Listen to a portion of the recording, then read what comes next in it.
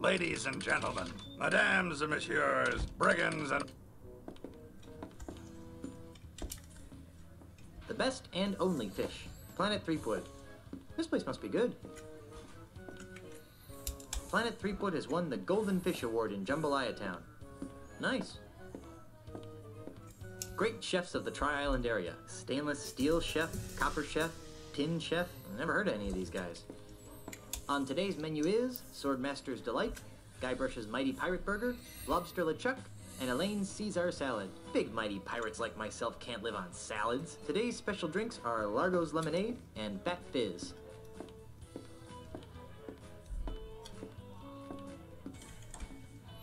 Eh, at least this place has a bar.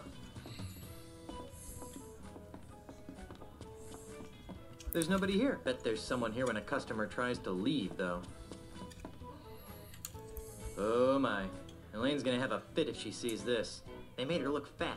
Uh, Pardon me. Uh, yeah. You're a little goofy looking for a pirate, aren't you? Oh, oh, gosh, me a pirate, don't I wish now? Pirates are the coolest. I'm a vacationing pet shop clerk, don't you know? Aren't you afraid of encountering real pirates?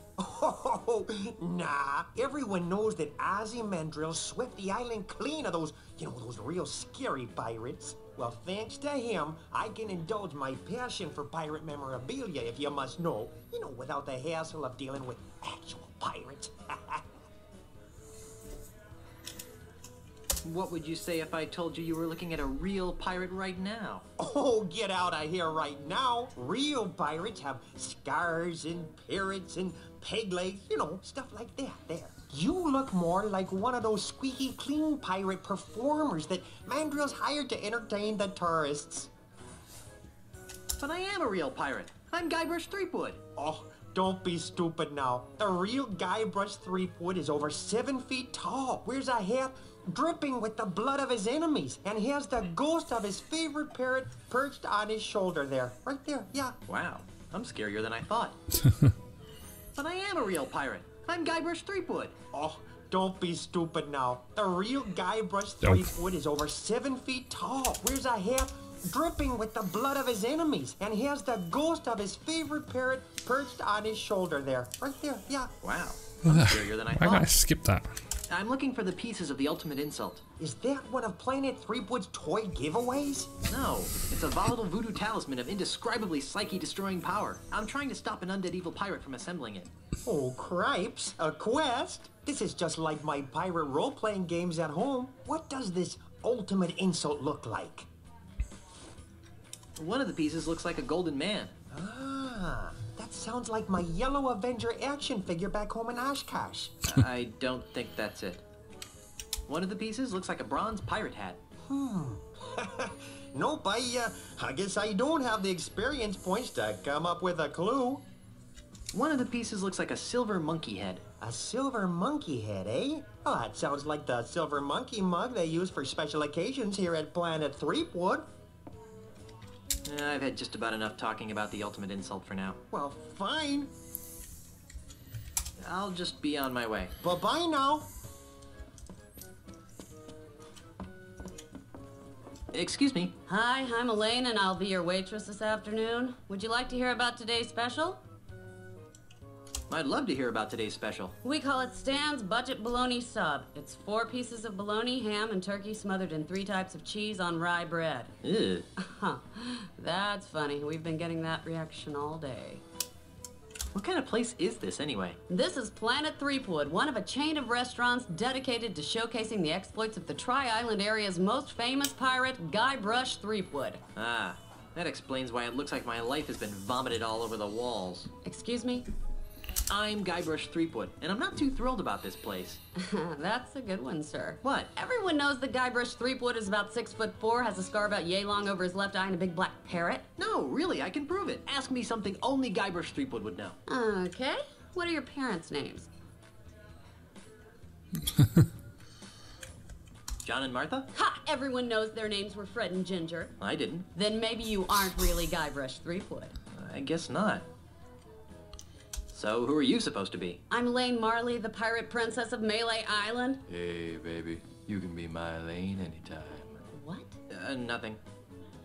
Whose brilliant idea was this anyway? Planet Threepwood is a wholly owned subsidiary of Ozzie Mandrill Enterprises. I should have guessed. I'm looking for the ultimate insult. I've never heard of that. Is it on the menu? I don't think so. If it's not on the menu, then we don't make it. Come to think of it, I need a few more minutes. Let me know when you're ready to order. Excuse me. Hi, I'm Elaine, and I'll be your waitress this afternoon. I think I'm ready to order. What'll it be? Guybrush's Mighty Pirate Burger sounds good. I thought it might. And to drink? I'll have a fat fizz. A popular choice, sir. And how will you be paying? I was thinking of running a tab. We don't run tabs at Planet Threepwood. There are still too many deadbeat pirates hanging around to start handing out lines of credit. You know the type. Um, yeah. Let me know when you've got some way to pay for a meal. Dope.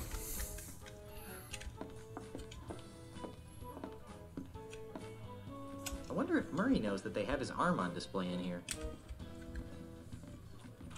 LucasArts seems to have their grubby hands into everything around here. I guess they couldn't find anything else interesting when they were stealing stuff out of my closet.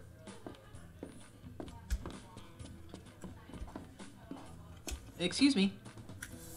Yes, would you like a free pirate caricature? Free pirate caricature? Yes, to help promote the zany, swashbuckling atmosphere of Planet Threepwood. Ozzie Mandrill Enterprises has hired me, Christopher Kilometer, to render free pirate-themed caricatures of our guests. Would you like one? Sure, why not? Wonderful. Just a moment. You know what I like about pirates? They're so active and healthy, you know, all that sword fighting and sailing, really outdoorsy stuff. What's your favorite pirate activity?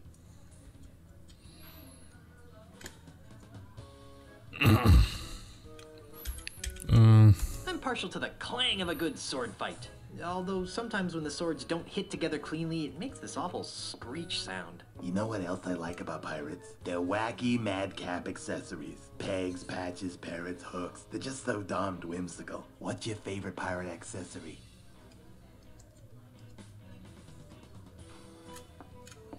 Nothing makes a bold fashion statement like a pirate with a parrot on his shoulder.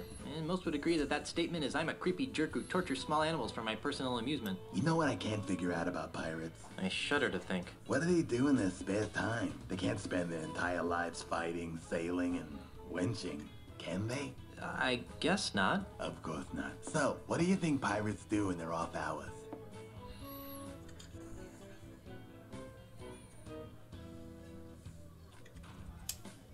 Think that most of them just like to curl up by the fire with a good book. Of course, they usually just throw the book in the fire, but still. Books.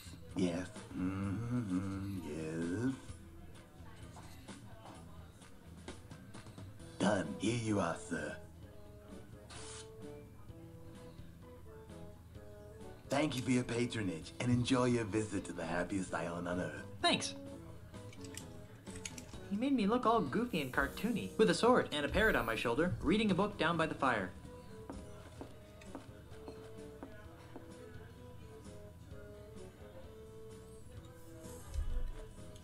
hmm. I wonder.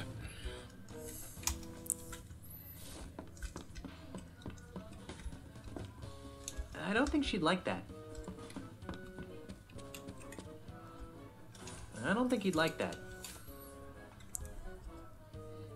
Looks like they managed to get their hands on some of Elaine's stuff. Glove, music box, plastic ice cream cone. Yeah, Elaine's gonna have an aneurysm when she finds out about this.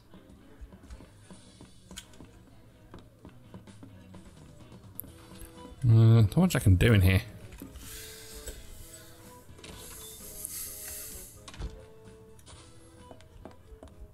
Where do the real pirates go when they're looking for Buccaneer-style family dining at a reasonable price?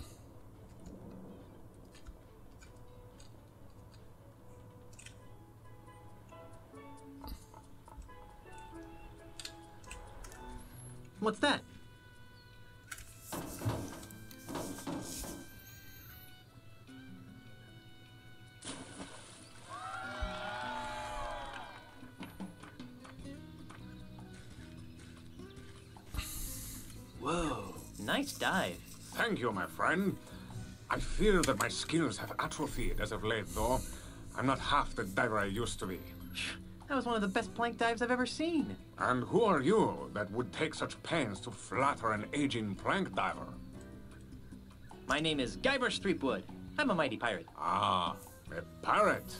It's rare to encounter a genuine pirate on Jambalaya Island these days. So I noticed. Well, Mr. Mighty Pirate, my name is Marco de Pollo, and I am the greatest plank diver in the world. Are you really the greatest diver in the world? Yes, I have spent years searching the planet for someone who could better me in the art of the plank dive, but to no avail. How sad.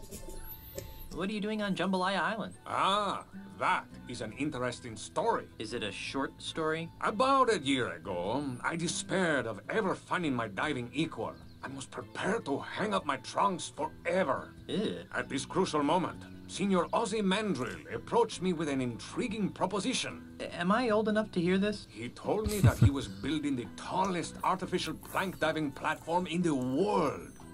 And that he was willing to pay obscene amounts of money to have the world's greatest plank diver compete on it on a daily basis. Since I was ready to retire in any event, I figured why not retire in the comfort of a luxury resort island? Makes sense to me. Besides, there's always the chance that someone will come along who can finally challenge my skills. Has your arrangement with Ozzie Mandrill proven challenging? Sadly, no. But at least I'm receiving a steady stream of income. I'm looking for the pieces of the ultimate insult. But what would I know of such things? One of the pieces is a bronze hat. I never wear hats.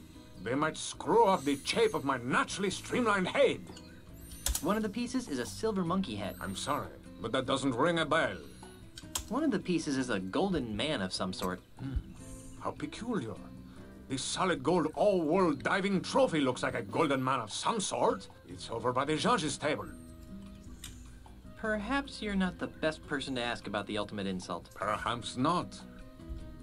How did you get into plank diving anyway? Ah, that is a story rife with melancholy. Are you you wish to hear it? Are you kidding? I love stories ripe with melancholy. Very well. It begins with my father, Count Francisco Alvarez de Pollo.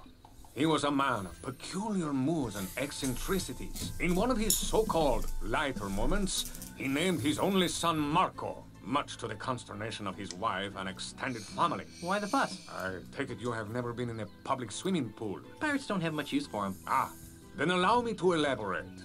At the tender age of six, I was sent to my first swimming lesson. Oh, how I happily splashed about, taking to the water like a worm to dirt. Suddenly, someone shouted my name. Marco! I turned to see who it was. Before I could find who had called my name, everyone in the pool shouted in response, Pollo! I couldn't understand what was happening. Why were they shouting my name in such an annoying sing, song, manner? Why were they closing their eyes to my obvious torment? I, tried to get them to stop, but they just kept chanting my name over and over again. Marco Pollo! Unable to tolerate it any further, I climbed to the highest diving board in the pool and cannonballed into the center of the taunting masses as I hit the water with a resounding splash. The haunting chants of my classmates finally gave way to comforting screams of terror. What a horrible story. Yes, but at least I gained a lucrative career out of my childhood trauma.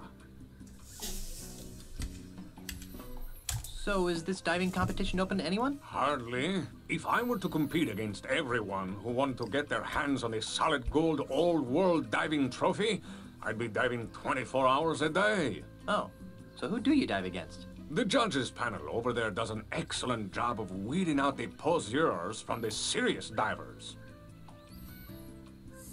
I'd like to dive against you. You want to dive against me? ah, thank you, little friend, for bringing laughter back into my life. What's so funny? Don't tell me you're serious. As serious as scurvy, diver boy. It's not wise to trifle with me, Mr. Threepwood. I am the greatest diver in the world. Second greatest, you mean? Very well. The gauntlet has been thrown. I suppose you have been certified by the judging committee? Certified? Do you think I am some sort of clown who accepts the challenges of every two-shilling braggart that comes my way? Um, yes? If you want to dive, go to the judges committee and get certified. I just remembered a previous engagement. Bye. Damn, I'll get certified to dive.